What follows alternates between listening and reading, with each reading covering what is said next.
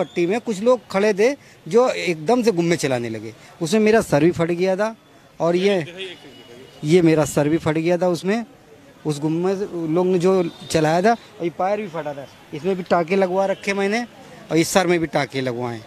अखिलेश जी की सरकार होती जस्ट इसका उल्टा हो जाता हम लोग। यहाँ के आदमी है तो जितने सब कवर कर दिए जाते जेल में और उन लोग को है तो अगर, अगर पकड़े भी जाते दो चार पकड़े जाते हैं। कि योगी सरकार में हम लोगों को बहुत बहुत धन्यवाद देते हैं। कि आज उनकी मदद से हम लोगों को इतनी हम लोग बचे हुए हैं और आगे भी चाहते हैं कि हम लोगों के ऊपर हाथ रखे रहे वो। तो अब तो दुकान बढ़ाते बढ़ाते एकदम से बंद करके भागे उसके बाद तमाम गुम्मे पत्थर चलने लगे जेल में। नमस्कार स्वागत है आप सभी का हेडलाइंस इंडिया पर। मेरा नाम है विनोद शर्मा और मैं इस वक्त ग्राउंड ज़ीरो पर मौजूद हूँ जहाँ पर जुमे की नवाज़ अता करने के बाद इसी सड़क से मेरे ठीक सामने की तरफ़ आप ये सड़क देख रहे हैं, इसी चौड़ी सड़क से एक मॉब, एक भीड़ आई और उस भीड़ ने यहाँ पर ज़बरदस्ती दुकानों को बंद करवाने की कोशिश करी और उसके बाद जिन लोगों ने दुकान बंद नहीं करी, उनसे मारपीट की, दंगा भड़काने की साजिश रची गई। हालाँकि पुलिस प्रशासन ने उस साजिश को नाकाम कर दिया, लेकिन जो भीड़ आई थी, उसका पूरी तरीके से तैयारी थी। ठेलियों पर, रिक्शे में कहा जा रहा है कि पत्थर भर भर के वो लोग लेकर आए थे। आप एक वीडियो लगातार वायरल हो रहा है। उस वीडियो में कुछ लोग नज़र आ रहे हैं। कुछ जो लोग हैं वो शटर तोड़ते हुए नज़र आ रहे हैं, शटर पर पत्थर बरसाते हुए नज़र आ रहे हैं। बिल्कुल यही वो जगह है जहाँ का वो वीडियो है। और आप ये देख सकते हैं, ये सामने एक बोर्ड लगा हुआ है जो कि यहाँ के माननीय खालिद, जो कि यहाँ के माननीय सलील विश्नोई का बोर्ड है और ये वो जगह है और ये वो देख सकते हैं और ये वो शटर है, ये वो दुकानें हैं जिनको तोड़ने का प्रयास किया गया, शटर को तोड़ने का प्रयास किया गया। लेकिन उन लोगों को ये नहीं पता था कि यहाँ पर तीसरी नज़र आपको देख रही है। जब उनको ये पता लगा कि ये तीसरी नज़र, यानी कि सीसीटीवी कैमरा यहाँ पर लगा हुआ है तो उन उपद्रवियों ने इस कैमरे को तोड़ने की कोशिश की गई। बिल्कुल बकायदा इस कैमरे को तोड़ते हुए वीडियो भी नज़र आ रही है और उन लोगों की शक्लें भी नज़र आ रही है।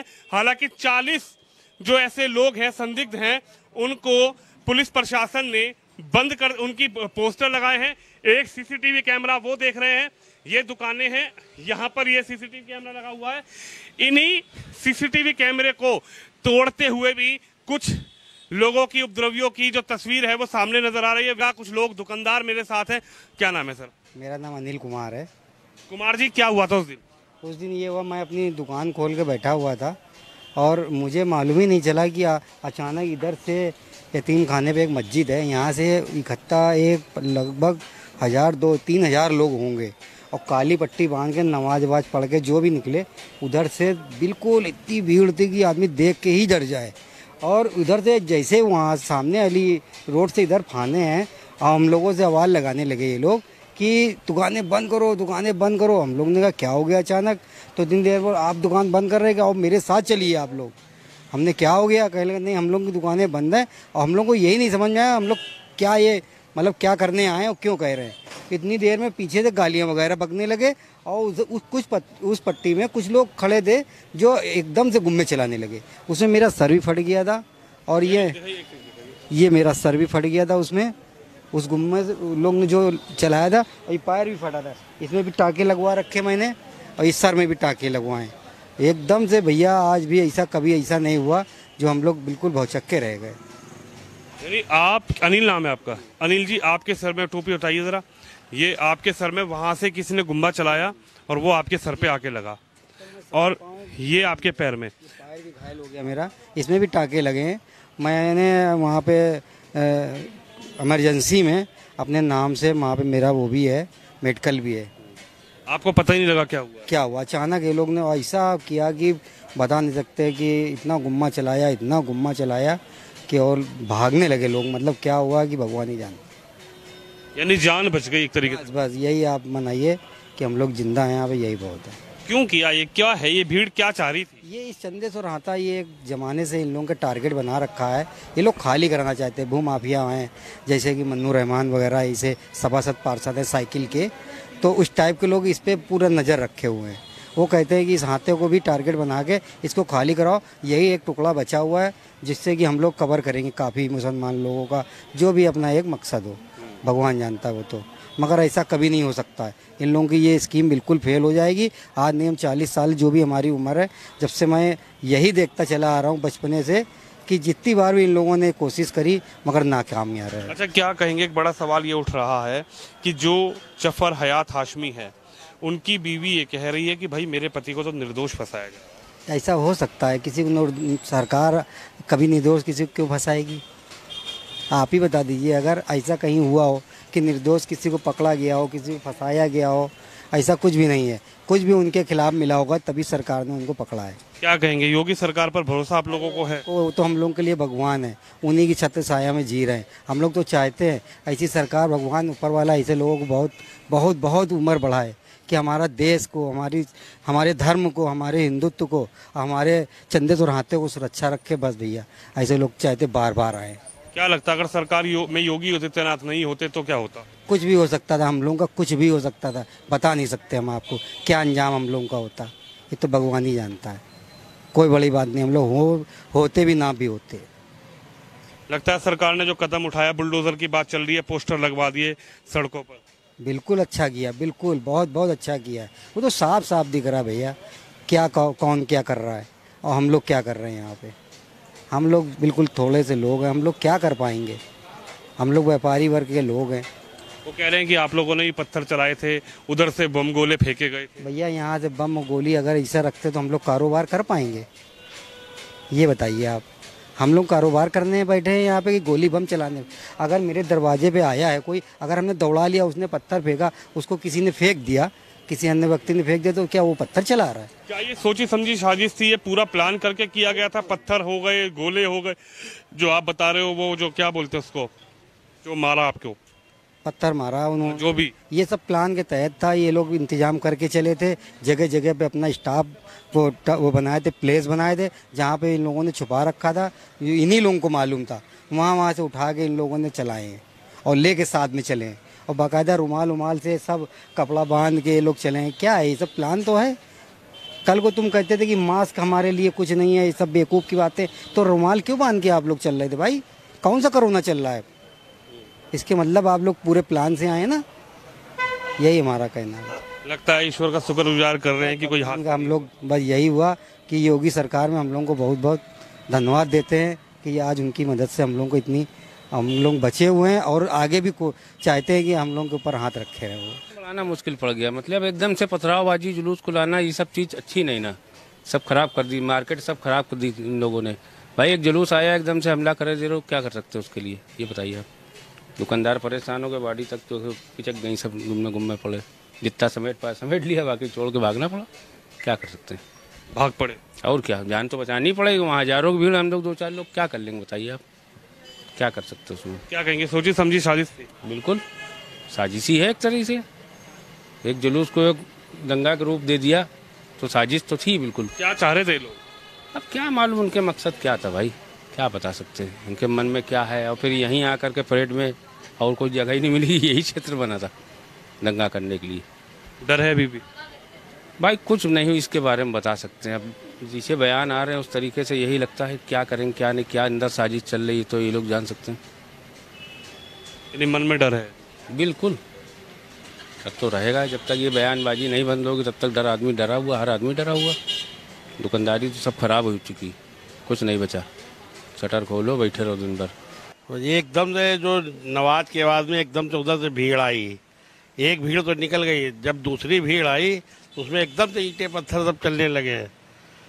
तो अब तो दुकान बढ़ाते बढ़ाते एकदम से बंद करके भागे। उसके बाद तमाम गुम्मे पत्थर चलने लगे सेल में। भीड़ सर ये लोग लेकर आए थे सड़क से उठाकर मारे? ठेले पे थे ठेले पे पत्थर लेके आए थे ना। ठेले के ऊपर पत्थर था। पत्थर जो है ठेले के ऊपर लेके ही आए थे। पत्थर ये नहीं, इतने इकट्ठा ठेले पे कैसे आएँगे? ठेले पे पत्थर लेके आएँगे। क्या थी इनकी मंशा? यहाँ से आप हिंदुओं को भगा दिया जाए। यहाँ से दुकानों को खा जरा सा है चार पाँच दुकानें खुली थी बाकी तो सब बंद थी बाज़ार पूरी। ये हिंदुओं की दुकान खुली थी बाकी तो सब पूरी बाज़ार बंद थी उस दिन। बाज़ार पूरी बंद थी उस दिन। यहाँ पे कोई बाज़ार नहीं खुली केवल ये हिंदुओं की दुकान चार पाँच खुली थी छः बाकी सब बंद था। मैंने उन लोगों से बात करी मुस्लिम समुदाय के लोगों से वो कह रहे हैं कि हमें तो फंसाया जा रहा है हमारे बच्चों को तो फंसाया जा रहा है पुलिस भी ज़बरदस्ती फंसा रही है। तो क्या ये वीडियो गलत बता रहा है क्या? ये ईटे पत्थर चलाते हुए जो पोस्टर लगे हैं तो इसमें ये क्या गलत सब पुलिस ने लगाए क्या? और वैसे भी वीडियो जो बना है सीसीटीवी कैमरा आगे लगा है, जो वीडियो बने हैं, क्या गलत है क्या ये? अचानक से भीड़ आ गई थी। और उसने उन्होंने बोला दुकानें बंद करने के लिए बोला। जब तक हम लोग दुकानें बढ़ाने लगे एकदम से कहाँ से पत्थर चलने लगे मालूम ही नहीं पड़ा। हम लोग शटर बंद करके निकल गए थे घर हम लोग। उसके बाद जो है वो कैमरे में नज़र आया है वो जो भी आया है। आपकी दुकान के शटर तोड़ने की साजिश पत्थर मारे गए पत्थर मारे गए थे शटर के ऊपर। तो थोड़े बहुत निशान आ गए मगर पुलिस बल आ गया दस मिनट में संभाल लिया था स्थिति उन्होंने। क्या कहेंगे? सोची समझी साजिश चाहते क्या थे ये हम लोग कुछ नहीं कह सकते एकदम से भीड़ कहाँ से आ गई? एनआरसी के टाइम पे भीड़ अचानक से आ गई थी ऐसे ही। मगर अब भीड़ एकदम से कहाँ से आई हम कह नहीं सकते उसके बारे में। सी एनआरसी वाले मुद्दे पर भी यही भीड़ इस तरीके से आया करती। वो इधर नहीं आई थी उस तरफ़ आई थी भीड़। नवीन मार्केट की तरफ़ भीड़ आई थी। अचानक से भीड़ आ गई थी। क्या कहेंगे? पुलिस ने तुरंत एक्शन लिया। हाँ हाँ बिल्कुल पुलिस ने तुरंत एक्शन ली दस मिनट में स्थिति संभाल लिया था सब कुछ। देखिए हम यहाँ रह रहे हैं करीब चालीस साल से। लेकिन कभी भी हम लोग ने तो अपने आप से है तो कभी एक पत्थर नहीं उठा के फेंका। जब भी बवाल हुआ ज़बरदस्ती का है तो उन्हीं लोगों की तरफ़ से स्टार्ट होता है। इसलिए हम तो ये कहेंगे कि ये पूरी सुनियोजित तरीके से है तो साजिश थी। इसमें हम लोग है तो कभी भी ये नहीं होता कि हम लोग पहले पहल करें। अब भाई बचाव के लिए हम लोग को कुछ ना कुछ करना पड़ेगा ही। अब उन लोग आ रहे हैं तो हम लोग हार लेके तो खड़े नहीं रहेंगे। अब ज़बरदस्ती अगर आप हमें है तो भाई है तो उत्तेजित करोगे कुछ ना चाह क्या रही थी? भीड़ है तो हाथे के अंदर घुसना चाह रही थी कुल मिला के कि जितना ज़्यादा से ज़्यादा हो नुकसान करें यहाँ का। बाकी है तो मिनी पाकिस्तान बनाना चाहते हैं, लेकिन हम ये भी कहेंगे कि समाज में हर तरीके का आदमी होता है, सब ये नहीं करना चाहते। होता क्या है कि अब समाज पाँचों उंगली बराबर नहीं होती, अब जिनके पास काम नहीं है तो उनके पास यही एक काम है। यानी कि एक तरीके से दहशत फैलाना चाहते हैं कि दहशत फैले और यहाँ से जो लोग हैं, वो जो हिंदू परिवार यहाँ रह रहे हैं, हाथे वाले पलायन कर जाए, भाग जाए। हाँ बिल्कुल। और तो भैया, इसमें फतवा भी बहुत ज़ाहिर कर दिया जाता है कि किन किन दुकानों से सामान ना खरीदें। लेकिन ये चीज़ कभी हिंदुओं में नहीं चीज़ आई है। अगर ये चीज़ अगर आती है तो फिर यही होता है कि देखो, ये चीज़ गलत है। है ना? चार पाँच दुकानदारों का भी नाम ज़ाहिर किया गया है कि मुस्लिम वर्ग इन इन दुकानों से सामान ना खरीदें। क्या ये चीज़ सही है? अगर यही चीज़ हिंदू पक्ष ज़ाहिर करे कि इन इन मुसलमानों भाइयों से सामान ना खरीदा जाए तो फिर ये होगा कि ये गलत है। ये गलत कर रहे हैं। हाँ और बगैर दोनों पक्ष के कभी कोई व्यापार भी नहीं हो सकता है। लेकिन ये चीज़ जो अल्पसंख्यक है, उनको कौन बताए, कौन समझाए? लेकिन यहाँ पर तो अल्पसंख्यक आप नज़र आ रहे हैं। नहीं, यहाँ पे तो विपरीत है। किसी टाइम में थे वो अल्पसंख्यक। अब अल्पसंख्यक नहीं रहे, वो बहुसंख्यक हो गए। और इसका यहाँ का अगर देखा जाए, दो चार पाँच किलोमीटर की रेंज में अल्पसंख्यक तो हिंदू ही है। अगर पाँच किलोमीटर के रेंज में आप देखिए, हमारे ख्याल से पाँच हज़ार आदमी नहीं निकलेगा हिंदू। और बाकी पचास, पाँच लाख तो मुस्लिम वर्ग ही निकलेगा। क्या कहेंगे? योगी जी ने तुरंत एक्शन लिया। हाँ बिल्कुल लिया तुरंत एक्शन अगर एक्शन ना लिया होता तो जो पाँच हज़ार दो हज़ार हिंदू हैं वो भी ना होते। और जो हम खड़े होके आज दे रहे हैं बता रहे हैं वो भी ना बता पा रहे होते। जी। अखिलेश जी की सरकार होती जस्ट इसका उल्टा हो जाता हम। लोग यहाँ के आदमी है तो जितने सब कवर कर दिए जाते जेल में और उन लोग को है तो अगर, अगर पकड़े भी जाते दो चार पकड़े जाते इससे ज़्यादा ना पकड़े जाते। क्योंकि ये माहौल हम लोग है तो आज से नहीं तीस साल से देख रहे हैं।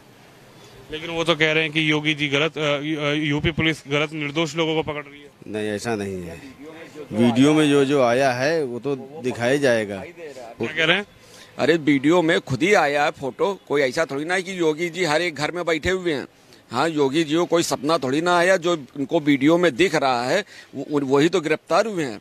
वही गिरफ़्तार हुए बस। तो देख सकते हैं आप मैं इस वक्त ग्राउंड ज़ीरो पर मौजूद हूँ और व्यापारियों से हमने बातचीत करी क्योंकि अब दुकानें खुलना शुरू हो गई हैं हालाँकि व्यापारी थोड़ा निराश ज़रूर है, क्योंकि जो व्यापार हुआ करता था, वो लोग अब व्यापार जो लेने आते थे सामान, वो थोड़ी संख्या थोड़ी सी कम है, यानी कि जो दुकानदार दुकान पर बैठे हुए हैं, और जो ग्राहक आते थे, ग्राहकों की संख्या थोड़ी में कमी कमी आ गई है, लेकिन इनका एक बड़ा खुलासा ये है कि यहाँ के कुछ जो बहुसंख्यक लोग हैं और एक धर्म के जो लोग हैं, वो लगातार ये चाहते हैं कि ये जो हाथा बना हुआ है, ये दरअसल है क्या कि यहाँ पर जो हिंदुओं की आबादी है, वो कम हो गई है और मुस्लिमों की संख्या बढ़ गई है। तो ये लोग ये चाहते हैं कि हाथा के अंदर जो लोग रह रहे हैं उनको भी यहाँ से निकाला जाए, किसी ना करी, किसी तरीके से साथे को खाली कराया जाए। लेकिन इस मॉब को, इस लिंचिंग, जो मॉब आई थी, जो लोग आए थे, पुलिस ने उनको गिरफ़्तार कर लिया, जिस, जिसकी वीडियो वायरल हो रही है, पुलिस उनको चिन्हित करके गिरफ़्तार कर रही है।